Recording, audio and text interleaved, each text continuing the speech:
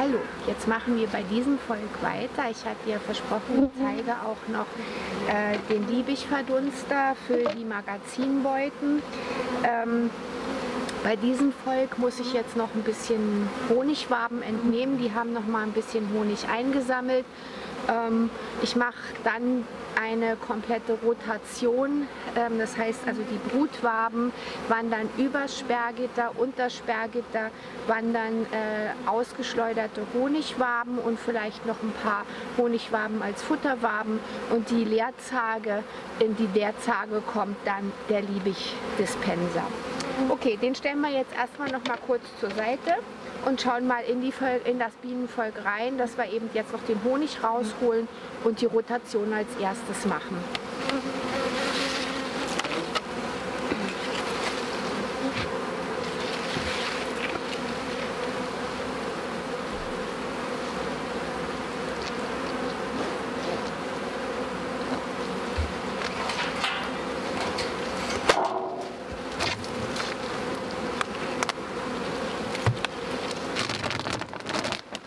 So, in der Zage ist nicht viel drin.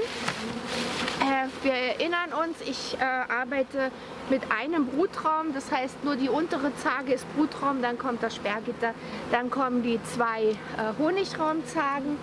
Das hatten wir abgeerntet.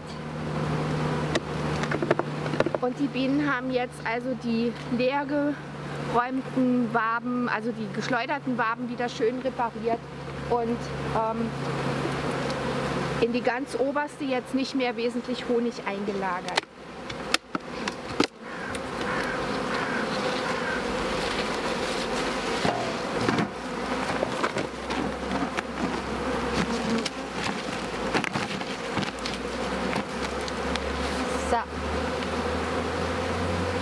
In der zweiten Zage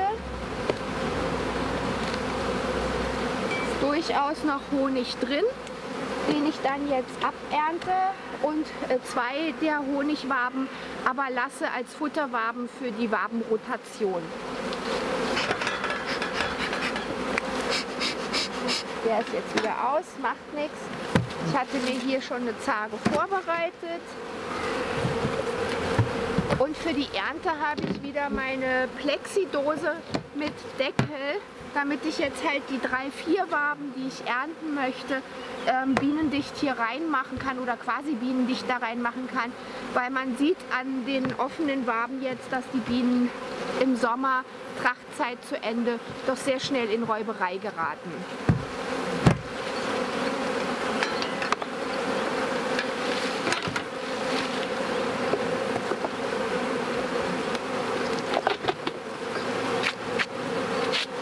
Das ist halbvolle, die ähm, mache ich mal so, dass ich die dann als Futterwabe benutzen kann.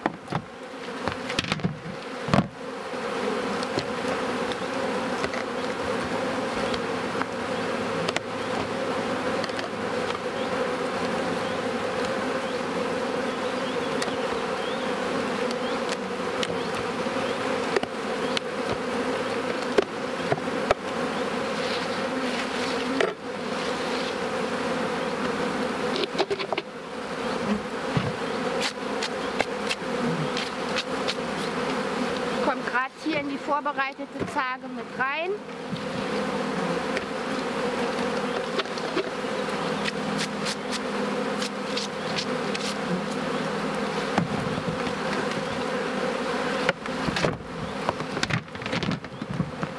Jetzt wäre es gut, wenn man zu zweit wäre, dann könnte einer die Waben entgegennehmen und in die Dose tun.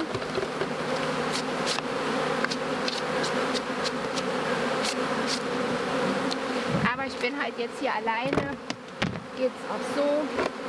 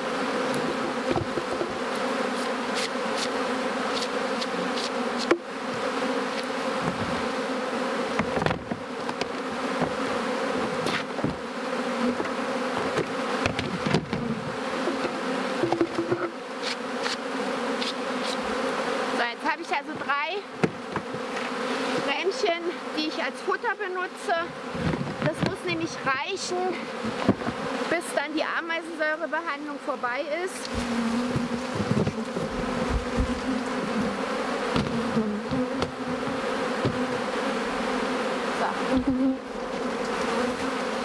Honigwaben weg, Besen zur Seite.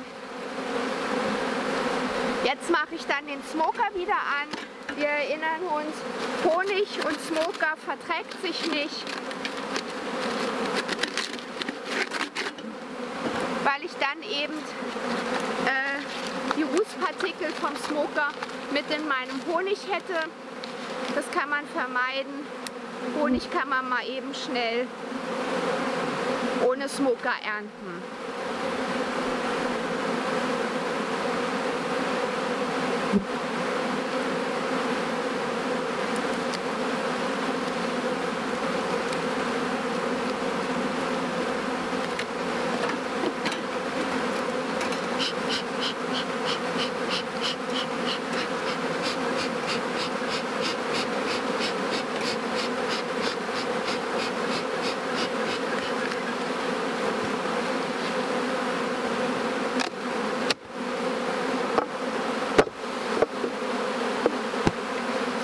Rotation stelle ich mir jetzt die eine, die leere Zage, nebendran. Da kommen die Bruträhmchen rein. Ich stelle die in den Deckel.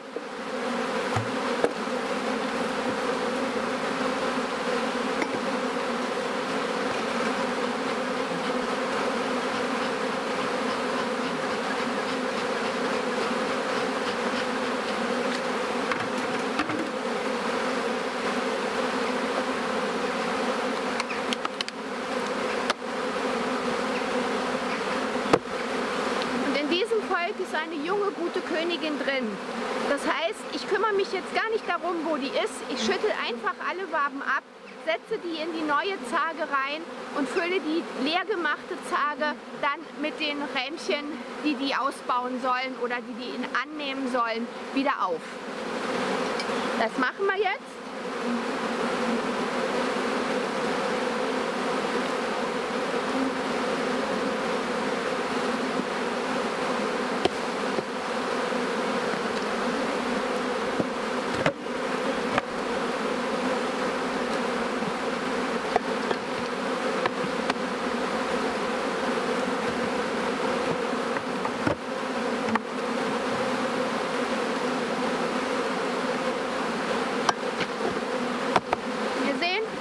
dunklen Rähmchen wandern bei der Aktion jetzt eben über das Sperrgitter.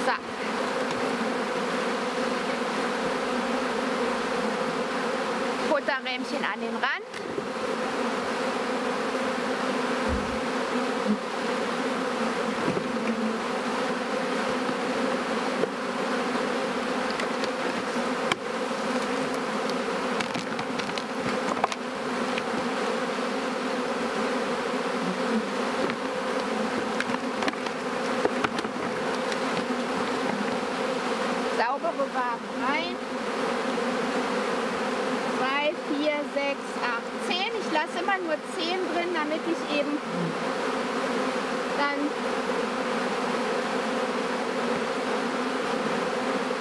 später im Jahr, wenn sich das Holz dehnt, sind 11 Rähmchen in der Beute, die potenziell reinpassen, zu viel.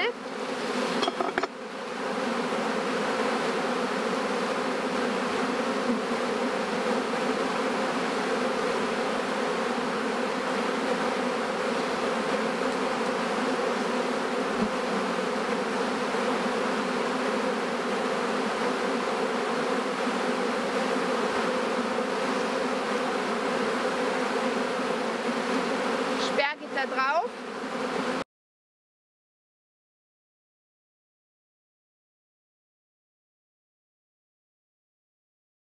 So, wir haben jetzt Abend.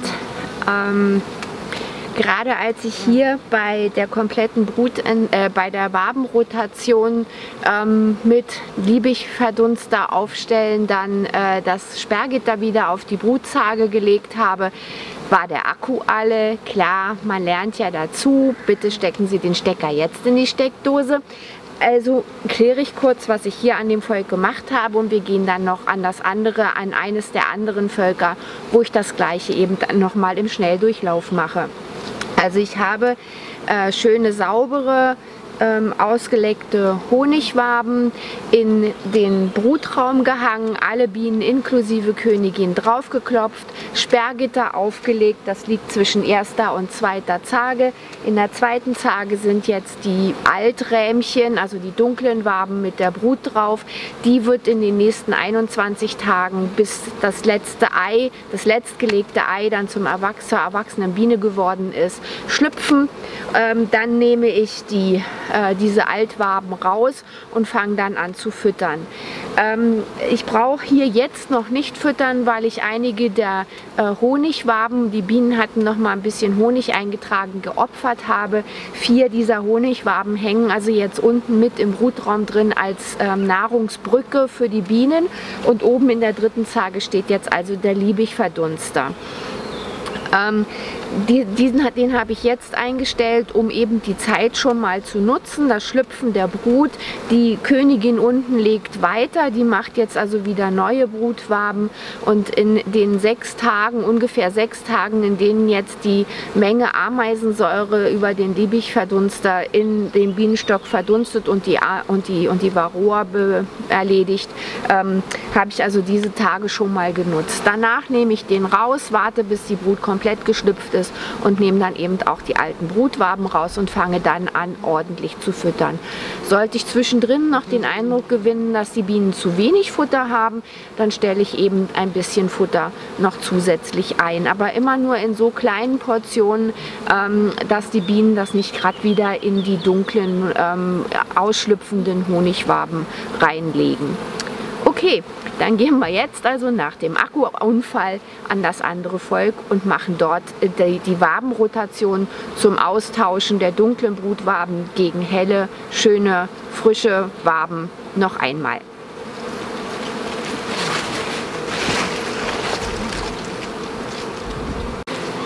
So, also noch einmal das Prozedere der Wabenrotation. Ich habe hier ein zweizagiges Volk. Das war im Frühjahr nicht so kräftig. Das heißt, es hat also einen Brutraum und jetzt einen Honigraum. Da schauen wir jetzt, was im Honigraum drin ist. Ich habe daneben noch eine dritte Zage stehen, weil ich ja dann die dritte Zage für das Einstellen des Liebichverdunsters habe. Noch einmal den Liebichverdunster habe ich also hier so einen Teller. In diesen Teller, der hat hier so eine Vertiefung, kommt dann ein Docht rein. Ähm, ich nehme, wenn das Papier in Ordnung ist, immer noch mal den vom letzten Jahr. Darf man nicht zu, lange auf den Bienen draufstehen haben, weil dann essen die Bienen das Papier weg. Die putzen nämlich unheimlich gerne. Also die putzen dann das Papier weg, dann hat man gar kein Docht mehr. Also dieser ist jetzt hier noch vom letzten Jahr. Da kommt dann der Liebigverdunster ähm, auf diese Noppen drauf. Man stellt das dann ein Vorher, das zeige ich ja gleich noch, hat man den Liebigverdunster dann mit Ameisensäure befüllt, 60-prozentige Ad-Us-Wett, also zum veterinärmedizinischen Gebrauch, also als Bienenmedikament zur Varroa-Behandlung, für die es in Deutschland ein Behandlungsgebot gibt. Das heißt, wir können uns nicht aussuchen, machen wir was gegen die Varroa oder nicht, sondern wir müssen den Stand der Varroa überprüfen und entsprechend handeln. Wir haben also die Pflicht, eine Varroa-Behandlung zu machen. Wir brauchen sie nicht mehr deklarieren, also wir brauchen dem Veterinäramt nicht mehr Bescheid sagen, hallo, ich habe Varroa, weil seit den 70er Jahren das einfach in allen Bienen drin ist und man sich ja mittlerweile auch wirklich Mühe gibt, durch Varroa-Toleranzzucht Bienen zu züchten, die mit der Varroa relativ gut umgehen können. Noch können sie das nicht so super, deswegen brauche ich immer noch eben eine Bekämpfung, entweder wie das, was wir im ähm, Film vorher gesehen haben, für die erste Behandlung die komplette Brutentnahme und dann das weitere Varroa-Management oder eben von vornherein äh, die Langzeitverdunstung von Ameisensäure. Dieser Liebig-Dispenser hat ein, ähm, eine Skala. Auf der Skala kann ich sehen, wie viel ich eingefüllt habe. Also ich halte die Flasche so rum, fülle ein, kann ablesen, wie viel habe ich eingefüllt. Wenn ich sie dann auf den Dispenser gestellt habe, kann ich überprüfen, wie viel denn verdunstet. Das sollte ich auch machen, weil manchmal eben die Tropfflasche ein bisschen verstopft ist ähm, und dann muss ich halt über, muss ich nochmal nachbessern. Ich muss also überprüfen, wie viel verdunstet denn am Tag. Das gucke ich am zweiten Tag nach Einstellen mal nach, auch um zu überprüfen, ob ich die richtige Dochtgröße eingestellt habe. Bei äh, Wetter, wie es jetzt ist, also so um die um 25 Grad Tagestemperatur, Sonnenschein, sollte ich ähm, halt ähm, für ein zweizagiges Volk, was das ja dann jetzt gleich sein wird in der Wabenrotation, also zwei gefüllte ähm, Zargen, sollte ich also hier 200 Milliliter verdunsten lassen über einen vollen Docht, also ein ganzes Papier. Das machen wir gleich. Jetzt schauen wir erstmal nach der Wabenrotation.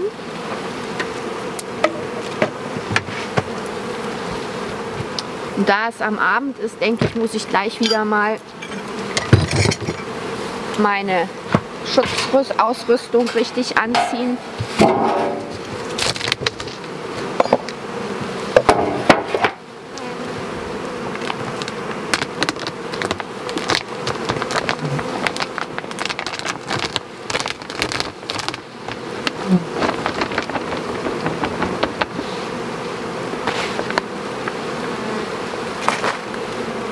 Stelle jetzt diese Zage einfach nebendran und schaue dann, dass ich die Bienen, die in der Brutzage sitzen, alle einfach in die Brutzage klopfe, dann hier Futterwaben rausnehme und frisch ausgeschleuderte, ähm, ausgeschleckte Honigwaben in Ersatz für die rausgenommenen dann zuhänge.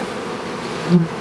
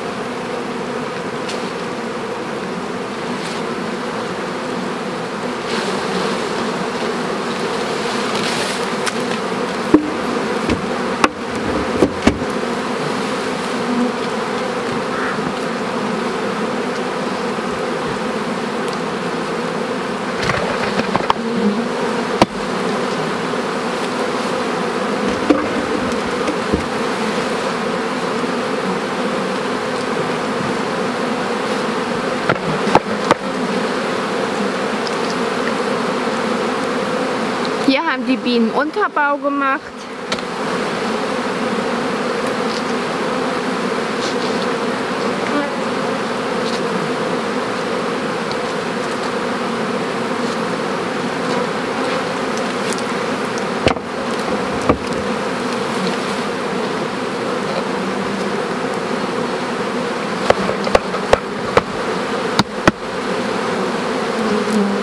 Ich kontrolliere immer noch mal ob die Königin dann wirklich nicht auf dem Rämchen sitzt.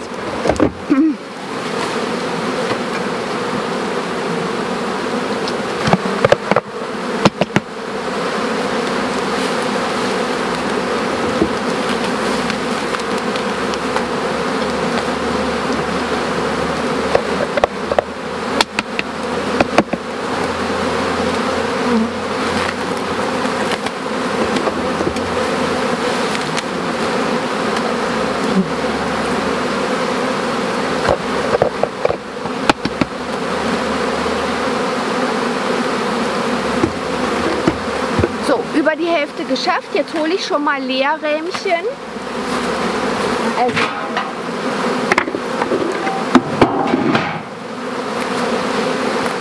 will sagen, äh, leergeschleckte, saubere Honigrähmchen, Honigwaben.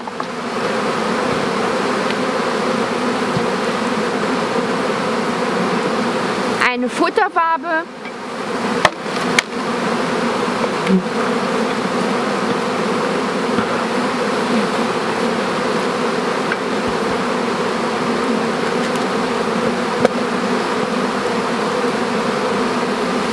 Dann mache ich weiter.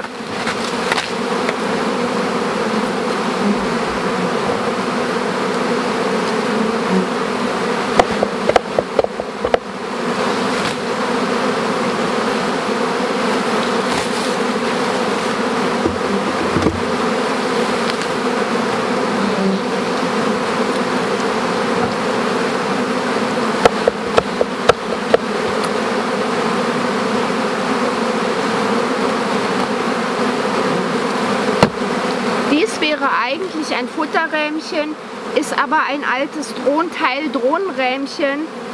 Deswegen nehme ich es jetzt trotzdem mit raus.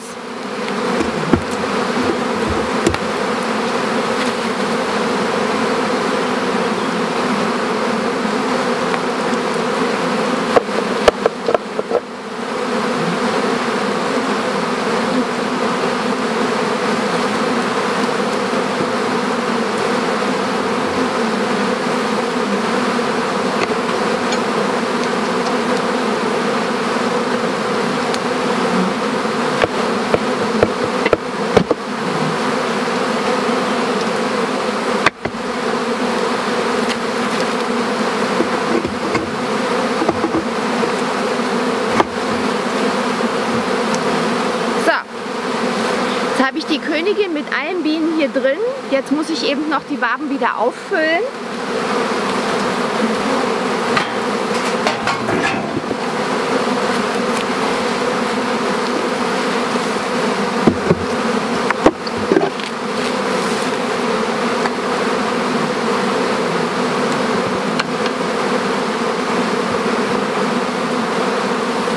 Eine Wabe mit Futter.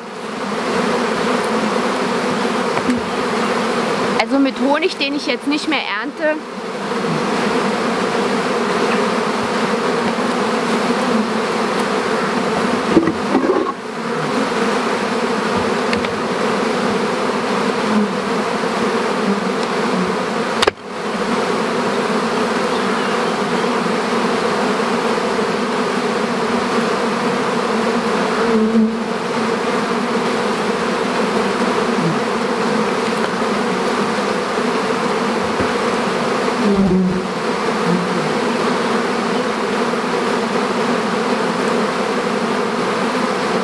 Zehn Rähmchen. Ich mache hier jetzt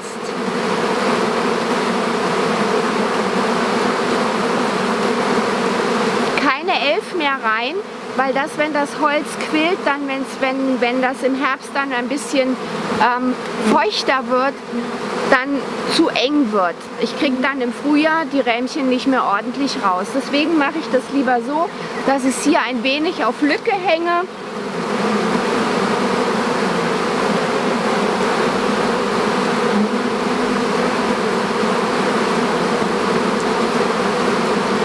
Millimeter reicht schon aus.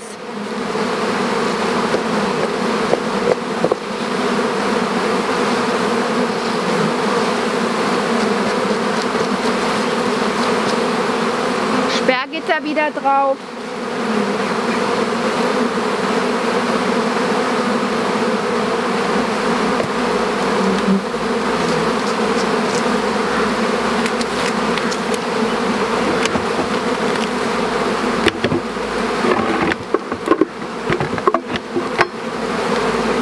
Das ist jetzt die Zarge mit der Brut. Die kommt jetzt als zweite drauf.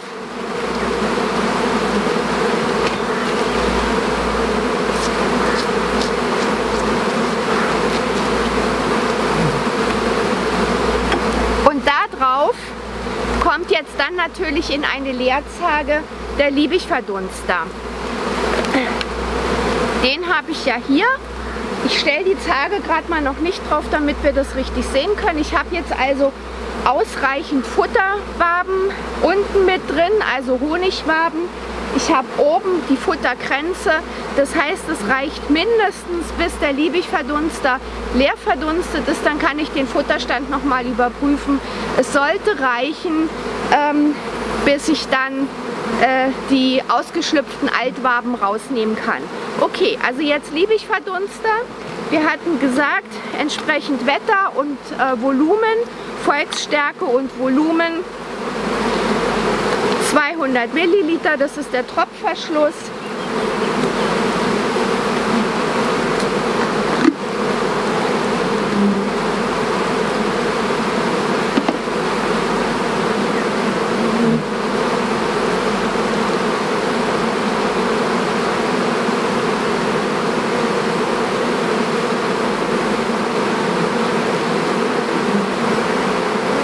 kontrolliere das gerade noch mal. Ja, hab's falsch gemacht. 140 Milliliter steht drauf.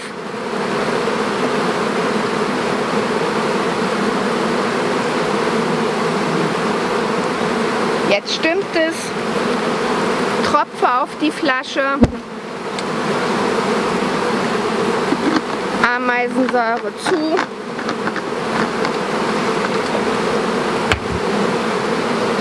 Und jetzt kommt also diese Verdunsterflasche mit den 140 Milliliter 60-prozentige Ameisensäure verkehrt rum in den Tellerverdunster. Ich gucke, dass Ameisensäure ausläuft, das heißt, der Docht wird hier jetzt ein bisschen feucht.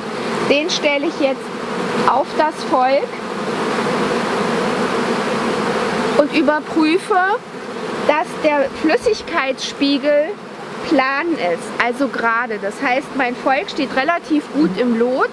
Ähm, dementsprechend steht auch der, Arm, der, der Liebigdispenser relativ gut im Lot, dass deswegen, ähm, dass aus diesen Sicherheitstellerchen unten im Tellerverdunster die Ameisensäure nicht ausdrüpsen kann. Jetzt kommt die Leerzage oben drüber.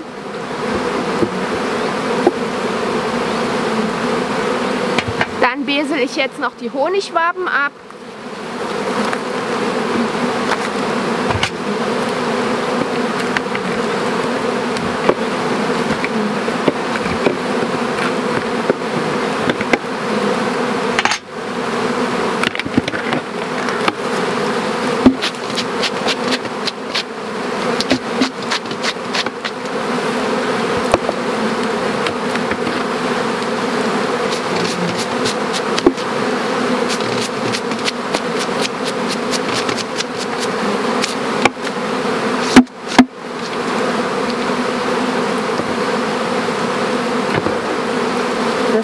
Also volle Honigwaben, die ich noch ernten muss, weil ich die jetzt nicht mehr als Futter drin lassen will. Der Sommerhonig kann bei den Bienen unter Umständen im Winter dann zu Durchfall führen.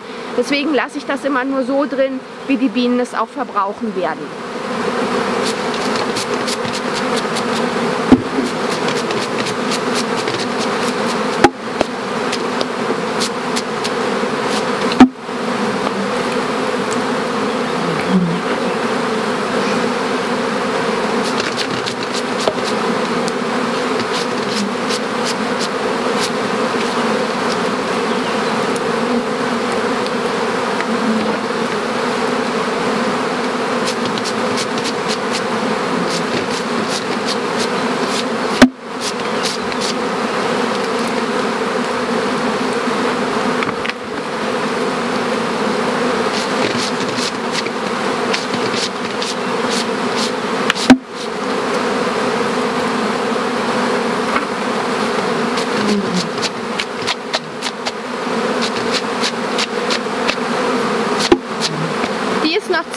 Schlüpfen, die hänge ich jetzt noch hier mit rein.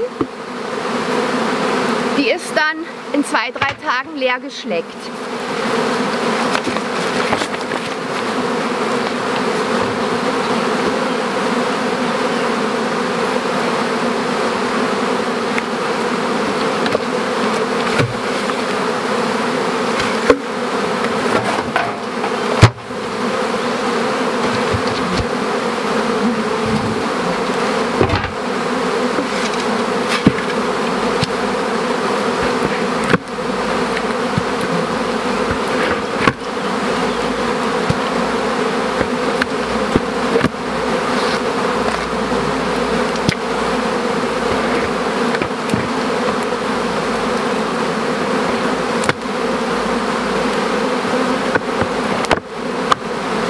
die Honigzage jetzt als allererstes zur Seite.